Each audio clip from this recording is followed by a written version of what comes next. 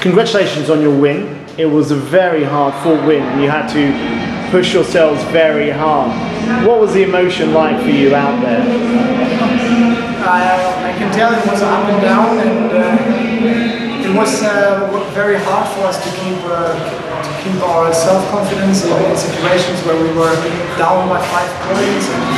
I think what we proved is that uh, that we that we always kept fighting and kept being positive, and uh, maybe that was the thing that kept us in the game. What was it? Because you, you were down they were 13, they were two points off winning, they were very close at the final set.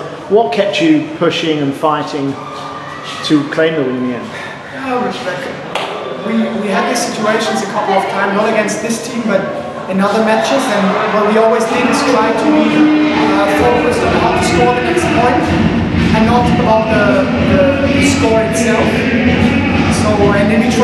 trouble, you can just score one point with every rally, and that's what we that's what he told us between the rallies to be positive and believe in us. And I think that worked pretty well. now you've started, you started the week in, in good form.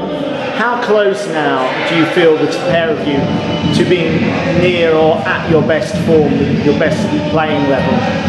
It's difficult to say. Like um, actually, it was a very important win, pretty emotionally, because I think the last seven matches we lost against this couple. But um,